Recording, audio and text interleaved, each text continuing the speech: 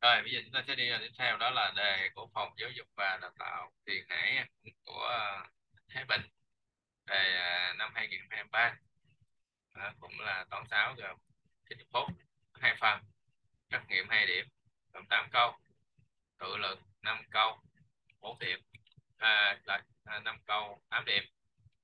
Và chúng ta sẽ hoàn thành cái đề này trong ờ, 90 phút rồi hướng dẫn giải.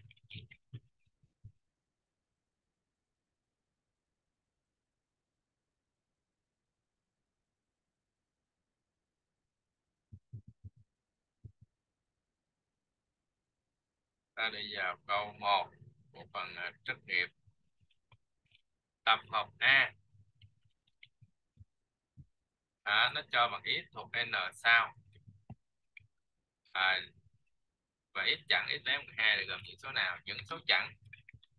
Là từ n sao cho đi đến từ 1 cho đi mà những số chẵn là phải là 2 4 6 8 đúng không? Vâng thì đây là 2 4 6 8 10 12 không được không bé 12 chúng ta chọn đáp án là chọn đáp án gì? Ta biết rồi đúng không? Đấy chọn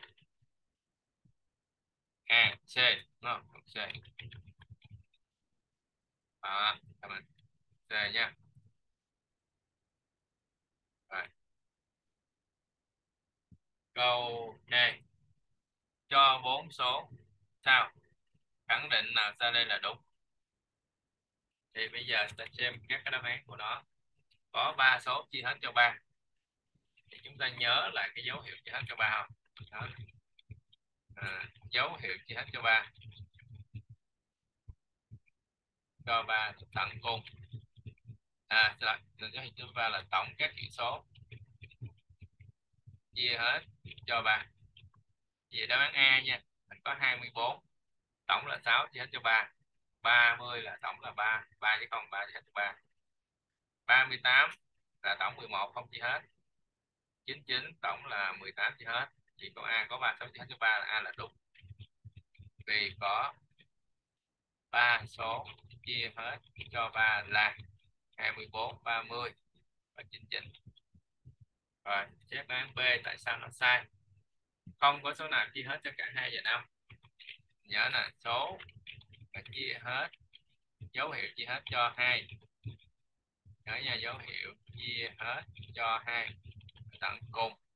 Không, hai, bốn, sáu, tám. Rồi, dấu hiệu. Dấu hiệu chia hết cho năm. Tận cùng, không năm rồi dấu hiệu chia hết cho hai và năm. Tận cùng là không. Gì? Tận cùng là không chỉ có một số này thôi. Đúng không? Tại vì hai với năm nó trùng nhau số không này. Cho nên cả hai và năm là tận cùng không. Thì câu B này là sai. À, vì vì sao? Vì có một số chia hết cho 5 cho 2 và 5 là 30 à. và tôi đi vào câu C. Có hai số chia hết cho 9 thì mình học cái dấu hiệu chia hết cho 9 à, cho 9 là sao? Tổng các chữ số chia hết cho 9 nhớ ha. Rồi mình xét cái đáp án. A là 6 24 là tổng là 24 6 không chia hết? 30 tổng là 3 với 0 là 3 không chia hết. 38 tổng là 11 chia hết. 99 tổng là 18 chữ hết. Thì câu C này sai là vì sao? Nó có hai số chữ hết thì hết. Thì chỉ có một số thôi chia hết? Cho chín là số 9 rồi. Rồi câu D tại sao câu D này sai? Kêu là cả bốn số đều chia hết cho hai là sai. Chia hết cho hai là cùng 2468 là chỉ có ba số thôi. Vì chỉ có ba số. À, chia hết? Cho hai là 24 đúng không? Rồi 30 và 38 thì chúng ta chọn đáp A.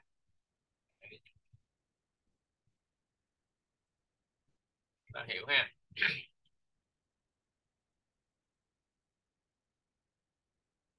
Rồi, bây giờ chúng ta sẽ đi vào câu số 3 trong các biểu thức, cơ. Các dấu ngoặc, nhọn, vuông tròn, thứ tự thực hiện phép tính quá quen rồi. À, chúng ta cũng nhớ lại luôn. Thứ tự thực hiện phép tính. Thứ tự thực hiện phép tính. Thì đó chính là tròn vuông và nhọn. Được chưa? Rồi. Thứ tự thực hiện phép tính hoặc là lý thừa. Thứ tự tính toán. Tính toán là à, lý thừa. Nhân chia. Rồi cộng trừ vậy chỗ này chúng ta sẽ chọn đáp án là gì? Tròn, vuông, nhọn là đáp án B. Nha. Rồi. Chúng ta sẽ qua câu tiếp theo, câu số 4 tập hợp nào sau đây chứa các phân tử là số nguyên tố? Thì ta biết là số nguyên tố là số lớn 1 có hai ước, duy nhất là một và chính nó. Được không? Thì câu A là một, ba, năm, bảy, A là đúng rồi câu B tại sao sai bạn biết không? Câu B là sai vì 15 là hợp số chứ không phải là số nguyên tố. Câu C sai là vì sao biết không? Vì 49 là hợp số. Nha câu D là sai vì 10 à, gì à? Phan một ba năm. À xin lỗi con A sai chứ xin lỗi em con A sai vì số 1 thì nhầm. A sai vì một là hợp số. À, xin lỗi một không là số không là số nguyên tố cũng không là hợp số. Tại vì số nguyên tố phải lớn hai mà thì nhầm chỗ đó nha. Câu D này là đúng nè. Bị gài nhìn cho kỹ câu D. Đúng ha? Rồi chúng ta đi vào câu số 5 trong các trong tập hợp số nguyên tập hợp các ước của 13 là trừ 1 1 13 trừ 13 chọn nó bán D luôn nghe không? Là, là ước của 13 ước này là ước nguyên. Còn ước tự nhiên là chỉ lấy 1 với 13 thôi. Vậy chúng ta chọn là D nha. ta đi vào câu số 6 là như thế nào?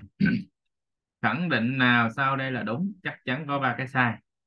Hình thôi có hai đường chéo bằng nhau A là sai. Vì hình thôi hai đường chéo chỉ là vuông góc thôi chứ có bằng nhau. À, câu B à, hình vuông có bốn cạnh bằng nhau. Đúng rồi đúng. Câu C hình chữ nhật có hai đường chéo vuông góc sai vì hình chữ nhật. Có hai đường chéo bằng nhau thôi chúng có cùng góc nha. Rồi câu D. Hình thang có hai đường chéo bằng nhau, sai, vì hình thang cân mới có hai đường chéo bằng nhau. Chứ hình thang bất kỳ là không có bằng nhau nha. Thì chúng ta chọn án là B. Đó. rồi, để cụ thể cho mình hiểu luôn. Ở đây không phải là học mà để lấy đáp án, học hiểu rõ luôn. Xây dựng lên kiến thức căn bản để khi mình học toán mình không có ờ, thấy nó khó nha. Rồi. Hình vuông có chu vi là 36 cm thì diện tích của hình vuông đó là bao nhiêu? À, thì chúng ta cũng rất là quen rồi. Chưa ta nhớ lại. Đó là diện tích hình vuông. Đúng không? Diện tích hình vuông là bằng gì? Là bằng cạnh nhân cạnh đúng không?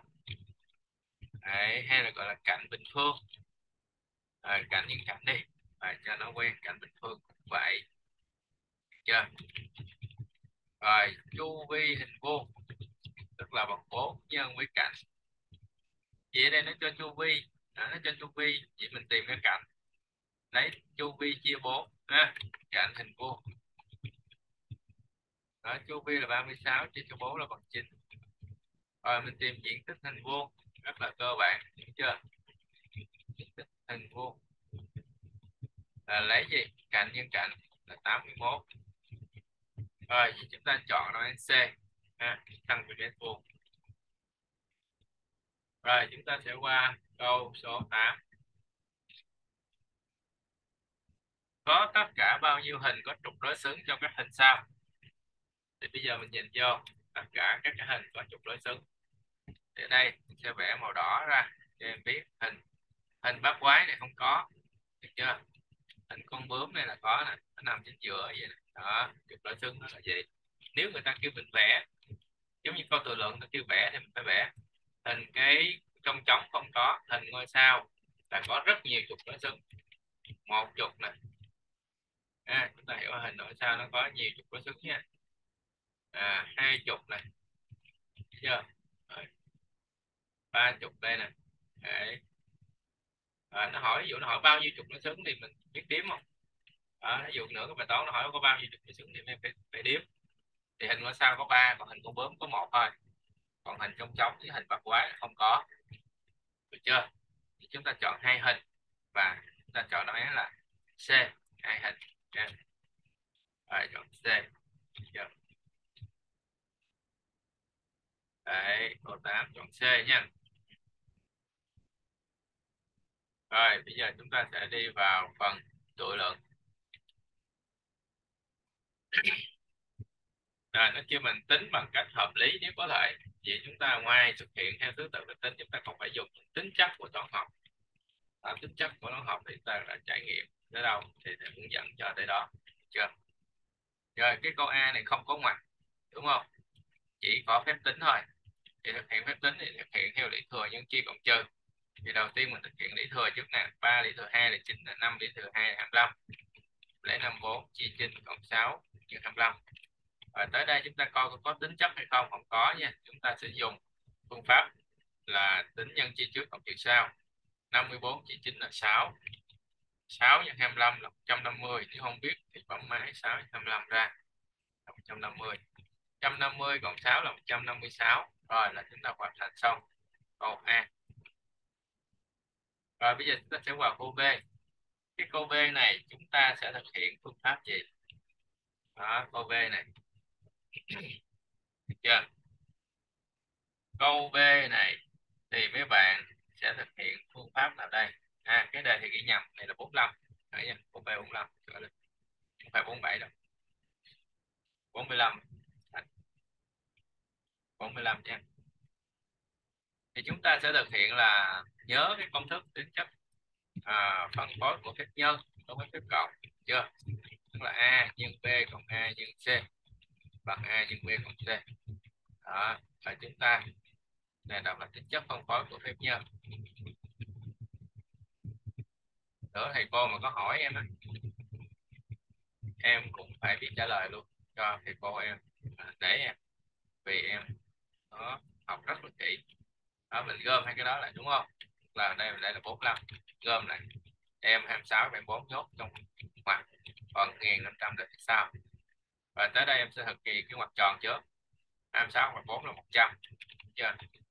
Và tiếp theo thực hiện theo thứ tự cách tính là nhân trước, tức là 45 nhân trăm, tính ra là 4500 trừ cho 1.500 thực hiện cái trừ 4.500 trừ 1.500 còn lại 3.000 rồi là xong. Ok B rồi, chúng ta sẽ đi vào câu C. Câu C này, nếu như chúng ta không dùng tính chất kết hợp là chúng ta sai, là chúng ta hiểu là A cộng B cộng C. Tính chất giao hoán là kết hợp, ta lấy là A cộng cho B cộng C, ta phải nhốt chung như vậy. Đó, thì sao thầy biết được? Bây giờ thầy thấy có 25 125 121 với 21 thì đầu tiên mình phá, thử dấu trước 125 cộng 321 thì chúng ta cũng nhớ về dấu rồi đúng không? À, chúng ta học về dấu là cái gì? Cộng nhân cộng. Đó là bằng cộng. Đó, trừ. Trừ nhân trừ là cũng bằng cộng. Tức là giống nhau hai dấu là luôn luôn ra dấu cộng. Còn hai dấu mà khác nhau là nhá ra dấu trừ. Đó là cái mẹo để cho mình nhớ nha. Đó, trừ nhân cộng cũng bằng trừ. Rồi vậy ở đây mình thấy là cộng với trừ là hình trừ. Trái dấu được chưa? Ở đây là cộng với trừ là hình trừ. Đấy. Rồi, sau đó mình dùng tính chất kết hợp. Ở đây công thức là nó có hai cái thôi. Bây giờ nó có ba cái cũng vậy luôn, mình gom chung lại thôi ha. Một, hai, năm là mình nhốt với một, hai, năm. Và ba, hai, một là mình nhốt với hai, mốt chung chứ cái mặt và một, hai, năm trừ một hai, năm là không. Ba, hai, mốt, ba trăm mốt giảm mốt là ba trăm. Rồi không cộng ba trăm là ba trăm. Chứ còn bài này mà bạn thực hiện theo thứ tự từ trái sang phải là không điểm luôn nha không có điểm nào luôn á. Đó tại vì nó kêu tính bằng cách hợp lý mà bạn tính không hợp lý bạn tính bằng cách khác là bạn sai luôn hết bài. Đó nó nói chung là nó là như vậy mình phải hiểu phương pháp. Rồi cái bài này tính bằng hợp lý là như thế nào? Thì chúng ta cũng dùng giống như tính chất kết hợp như thế này. À, chúng ta thấy nó có cái quy luật là gì? 13 15 17 19 21 23 nó nó giống nhau cái quy luật đó là hai nó cách nhau hai đơn vị vậy mình nhốt hai hàng đầu. À, nhốt 13 với 11 với 13 nhốt hai hàng tiếp theo trong ngoặc. Nhốt hai hàng tiếp theo trong ngoặc. Nhốt hai hàng tiếp theo trong ngoặc. Đó mình tính ra. Hiểu ha? 11 trừ cho 13 nó ra nhiêu? Là âm 2 rồi cái này 11 15 trừ 13 âm 2 âm 2 19 trừ 21 23 trừ 25 âm 2 mình thấy đây có bao nhiêu số âm 2 đây? Nó 4 số âm 2 đúng không? Cộng lại thì mình lấy là 4 à, 4 nhân với âm 2 4 số cộng lại là 4 nhân với âm 2 đúng chưa? Thì là bằng âm 8 rồi là chúng ta hoàn thành xong. Câu 9 rồi có chỗ nào thắc mắc thì hỏi thầy nha. Rồi chúng ta sẽ đi vào câu số 10 câu A B ghi câu A trước. Thì câu A này, chúng ta sẽ tìm x 7x là số hạng thứ nhất 21 hạng 2 còn cái này là tích, nhưng mà mình phải tính ra cái đó trước. Tích, nhưng mà cái đó là có cái dạng tính toán là thương. Vậy mình sẽ tìm, mình dùng công thức là chia hai lũy thừa cùng cơ số. A mỗi m chia a mỗi n lấy a mỗi m chia n.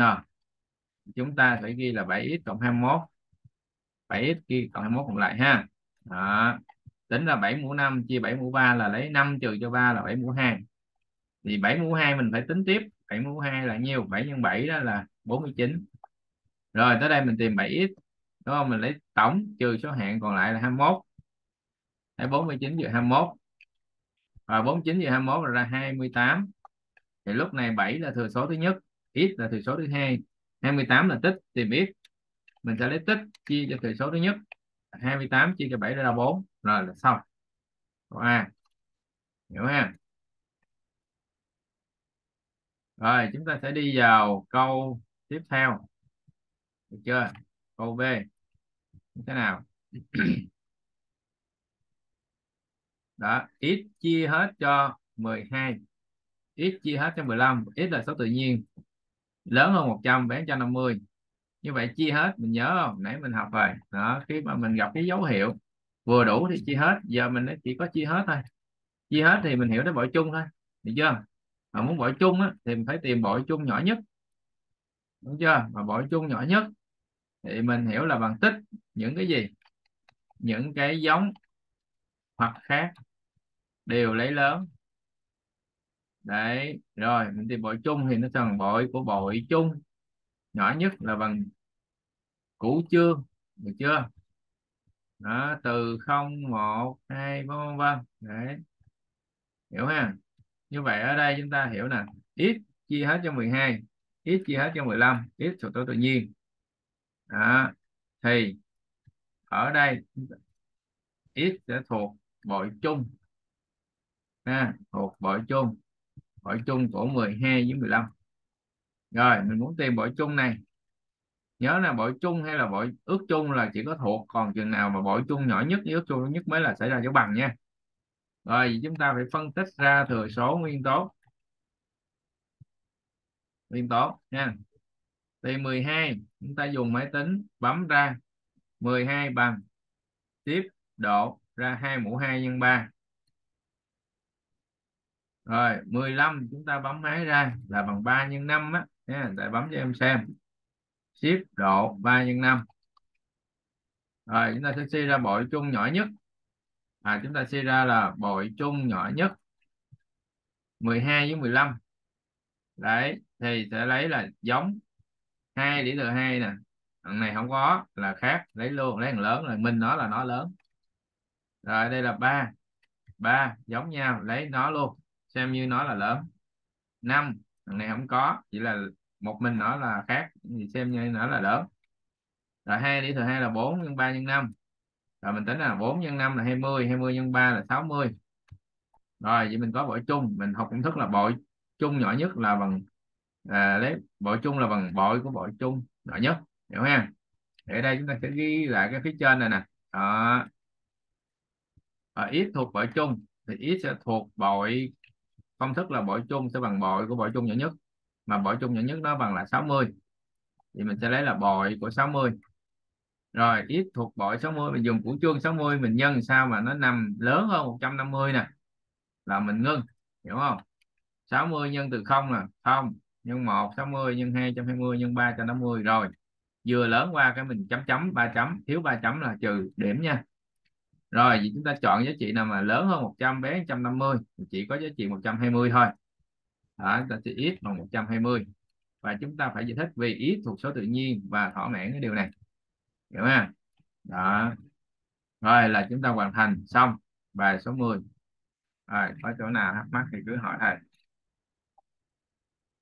Rồi, chúng ta sẽ đi vào câu số 11 nếu không có gì thắc mắc thầy sẽ hướng dẫn câu số 11 cho em. câu 11 như thế nào đây? Bạn Hà chia 54 viên bi màu xanh 90 viên bi màu vàng 120 viên bi màu đỏ vào trong cái túi. Sao cho mỗi túi, sao cho số bi mỗi loại màu ở trong cái túi đều bằng nhau? Hỏi có thể chia được nhiều nhất bao nhiêu? Đó. Chính vì cái từ nhiều nhất này là mình phải hiểu nha. Khi mình gặp cái từ nhiều nhất hay là lớn nhất? À, thì mình nghĩ ngay tới là ước chung lớn nhất. À, mà ước chung lớn nhất thì bạn phải hiểu là gì? Bạn phải hiểu công thức là ước chung lớn nhất. Nó chính là bằng tích những cái giống nhau và lấy cái nhỏ thôi. Nhớ nha? Giống nhau thôi. Giống nhau lấy nhỏ thôi. Còn khác là không có lấy. Đấy. Như vậy hỏi bạn Hà có thể chia được nhiều nhất bao nhiêu túi thì thường người ta gọi cái cái cái gì đang đi tìm thì mình gọi bằng chữ ít đi, nha, là tối.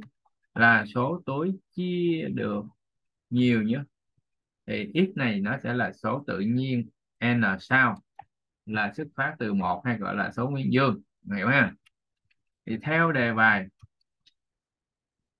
theo đề bài, đó khi mình gặp nhiều nhất được chưa? Thì mình hiểu nè 54 viên bi này chia hết cho x tức là mình phải đưa về chia hết rồi mình mới đưa về ước chung nha tức là cái cái số nó đứng trước, tức là đúng ra đây là số, chia hết cho x hiểu không? Đó. rồi, tức là đây 54 nè, mình phải ghi là chia hết cho x 90 nè, chia hết cho x. À 126 viên bi nữa nè, chia hết cho x. Và x lớn nhất, cái cách trình bày nó là như vậy đó. Thì từ đó em mới suy ra được x nó bằng là ước chung, lớn nhất. Khi ước chung hay bội chung, nhỏ nhất, ước chung lớn nhất, có từ lớn nhất, nhỏ nhất thì mới có dấu bằng hiểu không?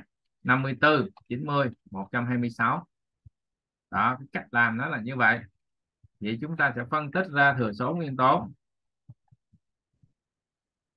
Rồi 154 chúng ta phân tích ra như thế nào? Thì chúng ta dùng máy tính bấm 54 bằng ship độ ra 2 nhân 3 mũ 3 rồi 90 chúng ta bấm bằng ship nè 90 bằng ship độ ra 2 nhân 3 mũ 2 nhân 5 à, 2 nhân 3 mũ 2 nhân 5 rồi 126 chúng ta bấm bằng ship độ 126 bằng ship độ 2 nhân 3 mũ 2 nhân 7 2 nhân 3 mũ 2 nhân 7 thì chúng ta mới suy ra ước chung ít nè ước chung lớn nhất.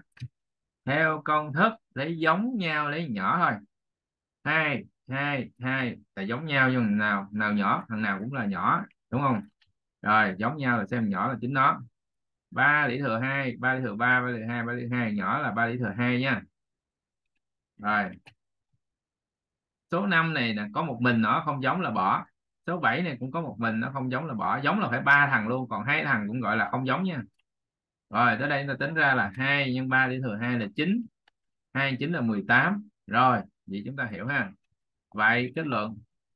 Bài này, bạn Hà có thể chia được nhiều nhất kết quả của chúng ta làm ra được là 18 thì chúng ta ghi vô là 18 à, 18 túi.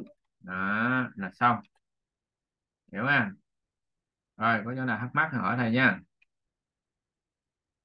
Rồi bây giờ chúng ta sẽ đi vào câu số 12 một mảnh vườn hình chữ nhật ABCD có chiều dài cạnh là 12 mét. Chiều dài cạnh đây AB chia CD cũng bằng 12 chiều dài ha. chiều rộng là 10 tức là AD nó bằng BC bằng 10 người ta để một phần mảnh vườn làm lối đi rộng 2 mét đó là cái con đường đi chính giữa hiểu không? Con đường đi là chiều rộng là 2 mét và chiều dài của cái đường đi vẫn là bằng 12 mét luôn nha. Rồi à, phân còn lại trồng rau là trồng hai bên trồng rau còn cái đường đi là không có trồng tức là cái khu bên này trồng rau khu hình trên hình dưới đó thấy không? Còn cái mảnh chính giữa nó tắt ngay lại cái lối đi. Rồi nó kêu hệ tính diện tích chu vi mảnh vườn và diện tích trồng rau. À, thì chúng ta tới đây. Thì chúng ta nhớ là cái công thức liên quan đến gì? Liên quan đến diện tích hình chữ nhật. Diện tích hình chữ nhật là bằng dài nhân với rộng đúng chưa? Rất là quen. Đấy rồi còn chu vi hình chữ nhật là bằng gì? Là bằng à, dài cộng rộng nhân hai. Tức là lấy thường người ta ghi hai cái trước mà. Hồi xưa cấp 1 mình nó ghi quen vậy rồi. Đó mình ghi phía trước. Rồi dài cộng rộng nhân hai. Được chưa? Rồi như vậy ở đây tính diện tích chu vi mảnh vườn hình chữ nhật. Thì tôi tính diện tích hình chữ nhật trước ABCD trước. Cái này là câu A. Nhớ nha câu này là câu A đấy. Rồi.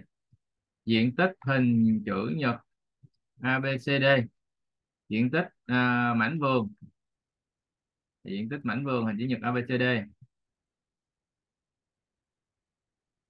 là mình sẽ lấy dài nhân cho rộng đúng không? Dài là nhiêu? 12 rộng là nhiêu? 10 là 120 mét vuông. Đơn vị diện tích là phải có vuông rồi chu vi mảnh vườn hình chữ nhật. ABCD là chu vi. Chu vi là mình lấy dài cộng rộng 2 nhân dài cộng rộng 12 cộng 10 đó, tức là 2 nhân cho 22 đúng không? Đấy là 44 đấy mét. Rồi tiếp theo là diện tích trồng rau. Muốn tính được diện tích trồng rau bạn phải tính diện tích lối đi bạn lấy diện tích mảnh vườn trừ cho diện tích lối đi thì chúng ta tính đó là diện tích lối đi. Lối đi thì cái chiều rộng của nó là hai chiều dài vẫn là 12 là 24 mét vuông. Đấy. Rồi thế là chúng ta mới tính diện tích. Đó, ở đây ha chúng ta sẽ tính diện tích à, trồng rau. À, là mình lấy diện tích của mảnh vườn 120 trừ cho 24 là bằng nhiêu? 120 là 96 mét vuông. Rồi, chúng ta hoàn thành xong câu A. Bây giờ chúng ta sẽ đi vào câu B nha. Câu B như thế nào đây? Người ta muốn lát gạch toàn bộ lối đi bằng những viên gạch hình vuông, có cạnh là 50 cm ở trên này nãy giờ mình dùng đơn vị mét, bây giờ cm là đơn vị khác, mình phải đổi gì cùng mét luôn. Giá mỗi viên gạch là 30.000 đồng, tính số tiền thì một viên là 30.000 nhưng mình tính ra mình muốn biết được bao nhiêu viên thì mình phải tính ra số viên. Mà chúng ta đã biết là cái số viên gạch đó, nó bằng diện tích của gì? Diện tích của cái nền. Đúng không? Chia cho diện tích của viên gạch. Đó là cái công thức hiểu ha rồi vậy chúng ta có cái nền cái lối đi là có rồi nè. Lối đi diện tích của lối đi là 24 mét vuông. Vậy chúng ta phải tính với diện tích viên gạch. Mà diện tích viên gạch thì cái viên gạch này nó là hình vuông chơi diện tích của hình vuông là lấy cạnh nhân cho cạnh được không? Đấy. Nhưng mà phải cùng đơn vị nha bài này rất là dễ bị ao 50 cm nếu em không đổi ra đơn vị 50 cm đổi ra cùng đơn vị mét là sai. 1 mét là 50 100 cm vậy lấy 50 chia trăm là 0,5 mét. Rồi em phải tính theo cùng đơn vị mới đúng. Tính mà khác đơn vị là sai hết bài luôn. Chúng ta tính là diện tích viên gạch hình vuông là đó là chúng ta lấy 0,5 cạnh nhân cạnh nè 0,5 nhân 0,5 rồi chúng ta không biết thì bấm máy 0,5 nhân 0,5 là 0,25 á. Đúng không? Đây 1 phần tư là 0,25 mét vuông. Rồi chúng ta mới tính số viên gạch. Đó, số viên gạch à, cần lát là là mình sẽ lấy gì? Lấy diện tích của cái lối đi là 24 mét vuông chia cho diện tích viên gạch là 0,25 lấy 0,24 chứ 0,25 nó sẽ ra là 96 viên. Mà mình biết là một viên giá là 30.000 đồng thì 96 viên mình nhân lên thôi. Vậy số tiền đúng không? Nó hỏi là gì? Vậy số tiền phải lát gạch cho lối đi là à, mình sẽ nhân lên 96 mình nhân cho 30.000 đồng. Đó, mình nhân thêm 30.000 nữa là nó ra là 2 triệu 880 ngàn đồng. Rồi, là chúng ta hoàn thành xong bài 12 rồi, có chỗ nào em thắc mắc thì cứ hỏi thầy. Rồi, không có gì, đúng không? Không có gì, ta sẽ đi vào câu cuối cùng. Câu này nửa điểm là cái câu khó. Kể cả học sinh giỏi chưa chắc làm được câu này.